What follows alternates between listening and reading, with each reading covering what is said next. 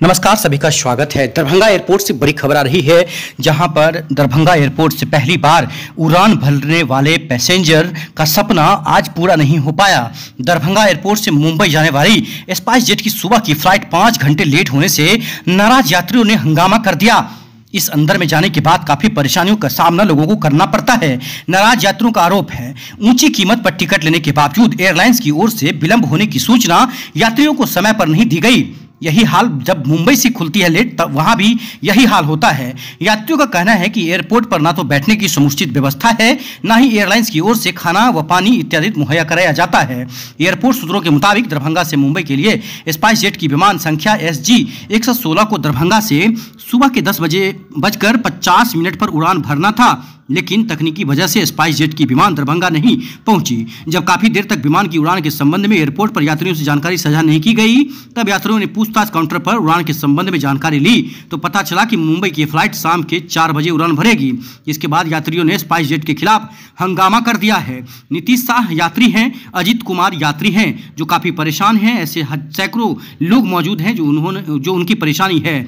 देखिए पूरा coverage, share ज़रूर कीजिएगा। बाहर आइए। बाहर आइए हम नहीं का नाम क्या है? आपका नाम क्या है? आपका सुमन रॉय। और आपका आप पोस्ट मैसेज आ रहा है ये देखिए। तो भेजेंगे ना मैसेज कस्टमर सर्विस मैसेज नहीं करेंगे क्या? I am sending name to the DGC fourteen for India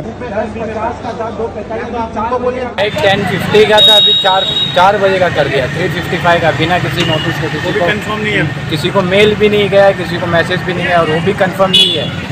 कि तीन पचपन को जा पाएँगे भी कि नहीं जा पाएँगे। डिले कैंसिल हो जाएगा। आने जाने में खर्चा गया एनर्जी का ही टाइम गया सर अंदर में क्या बता रहे हैं? कर्मी जो है तो क्या बता रहे हैं स्टाफ बाहर सबको बिठा दिया गया है। बाहर? अंदर बैठे हुए हैं। हम लोग को इतना बुज़ुर्ग लोग कैसे गर्मी में बैठेंगे क्या परेशानी हुई अंदर में? बहुत गर्मी है भाई। अथॉरिटी के पास कोई फैसिलिटी सेंटर ही नहीं है ना गर, गर्मी का कुछ इलाज है ना कुछ ऐसा अंदर बैठे हुए स्टाफ वाले। अब आप क्या करेंगे? जा रहे हैं घर देखते हैं। कहाँ घर हुआ?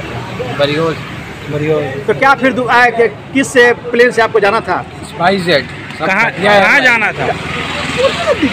कैसी व्यवस्था रही स्पाइस जेट का? अरे बहुत बेकार है ना कोई अल्टीमेशन दिया गया कि डिले हुआ है कुछ हुआ है। ना ही उन लोग के स्टाफ कोई सीनियर तो आ ही नहीं पा रहा है बाहर। कोई सीनियर आने की बात करने कोई आ ही नहीं रहा है कोई बात कर रहा है।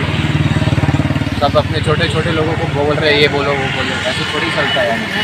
इतना पैसा भी उन लोग का इतना ज़्यादा है, लोग चौदह चौदह हज़ार डाल के आए हैं। किसी का कनेक्टिंग फ़्लाइट है दुबई का। सब बर्बाद किया है पैसा। सुबह छः बजे से निकला हूँ घर से, वहाँ पे टेन फिफ्टी का फ़्लाइट था स्पाइस जेट का। यहाँ पे आने के बाद पता चला वो चार बजे हो गई है। वो भी अभी तक कंफर्म नहीं है कि चार बजे जाएगी कि नहीं जाएगी। और अंदर भी जाने नहीं दे रहा। है बाकी सारे स्टाफ एसी में बैठे हुए हैं। हमने कहा कि आप भी हमारे साथ ऐसे बाहर आके बैठिए कोई रेडी नहीं हो रहा है। ना किसी मैनेजर से बात करवा रहे हैं। कोई फैसिलिटी नहीं है पानी तक नहीं दे रहे किसी को। सब बाहर बैठे आप अंदर जाके देखिए सब ऐसे ही बैठे हुए हैं।